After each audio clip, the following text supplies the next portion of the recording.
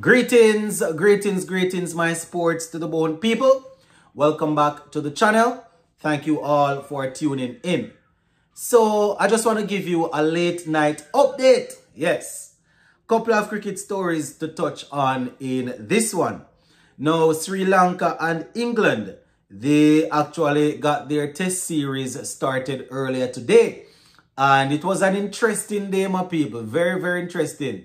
You know, Sri Lanka losing five wickets before they even got um, to 100. And somehow they were able to hold off England and muster 236. So, gonna go through that um, scorecard there. Plus, we're gonna talk a little bit about Jayden Seales and a couple of other um, bowlers. Jayden Seales actually moved up the rankings. Yes and he's pretty close to breaking into that top 10. So, gonna talk on that a little bit. So, just give a listening ear and let me know what you all think in the comment section.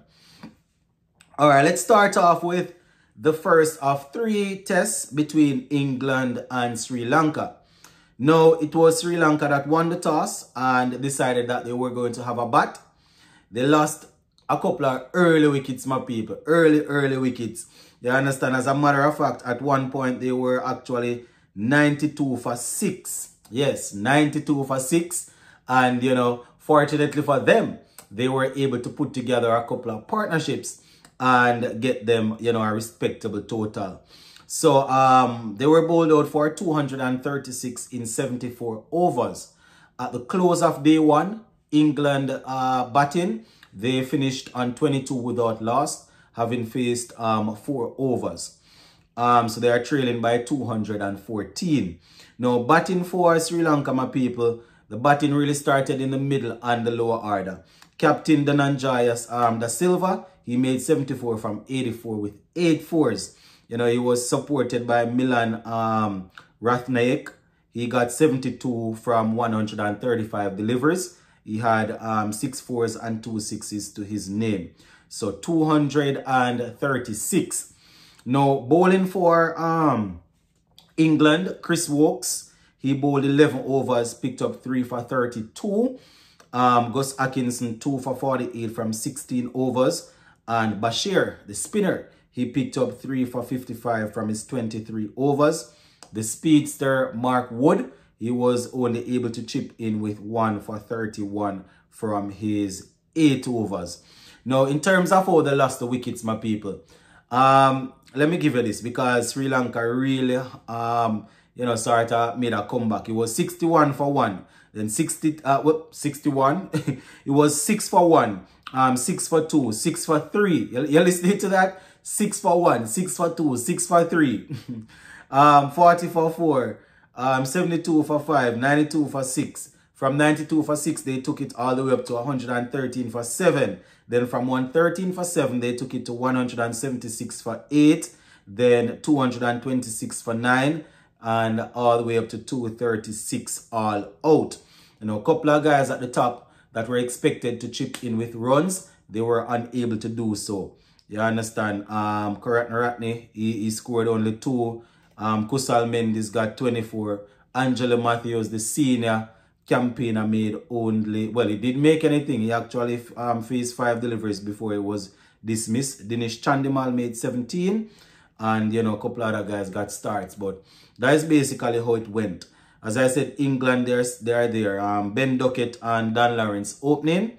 Um, 13 for Duckett, not out, and 9 for Lawrence. Um, Dhananjaya de Silva and um, um, Jayasuriya, they, they actually have two overs each. So that is how the first day went in this um, first test between Sri Lanka and England. All right, um, time for us to switch over to our West Indians, right? Or our, our West Indies team, you know, our West Indian players. Let us see what I have here. So, Jayden Seales my viewers and subscribers, he actually moved up in the rankings. couple of guys moved up, but Jayden Seales, he was the biggest mover. You understand? Um, he actually moved 13 places up and he's now ranked at number 13. Yes, so you know, good to see that my people. Uh when he when he when he when he um I think it was prior to the England series, he was saying that, listen, his aim is to see if he can um, break into the top 10, into the top 3, and he would love to become the number one ranked test bowler. So, you know, he's well on his way. The only problem is, you know, um, West Indies, we don't play a lot of, of test cricket. So, after the after playing these games against South Africa, he will have to sit for a while. Hope he's still fit while playing, you know, um, T20 and ODIs. Um, hope he's still fit when the time comes around to play Bangladesh because, you know, tough. Um, as I said, 13 spots he moved up. Um, you know, so that, that was actually good. We saw Shamar Joseph also moving up.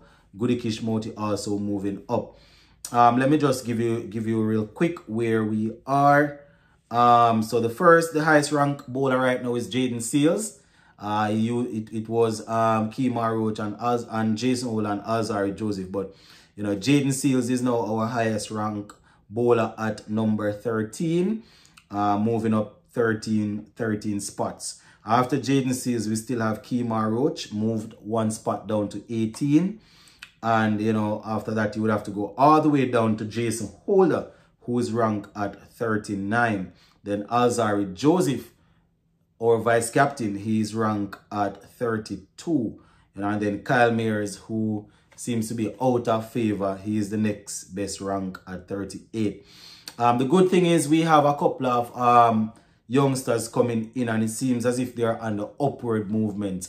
You understand? J, um, Shamar Joseph, for example, we're hoping that soon and very soon we will be seeing Isaiah Thorne and a couple others. You understand that after Kyle Mayers, you have to go down to Shannon Gabriel, who hasn't played in a while at 45. Let me just go down. Jomel Warrican, he actually moved two spots up. He's now ranked at number uh, 52. After him, you have J uh, Shamar Joseph, who moved um, 11 spots up to 54. So Shamar Joseph is 54 and we have um, Jomel Warrican at 52. So that is how it's um that's how it's looking for us, my people. You know, then we have Roston Chase at 60 and Gudakesh Motie is there moving two spaces up at 24. But that is what we have, my viewers and subscribers. You understand when we perform certain ways, you know, it's gonna reflect in the um in how they do the rankings. But yeah, just wanted to give you that quick update here. Just make sure that you're all tuned in tomorrow bright and early. I will be giving you my playing 11 for the first T20 game against South Africa this Friday. Thanks again for all the support. Big up on yourself and stay safe. One love.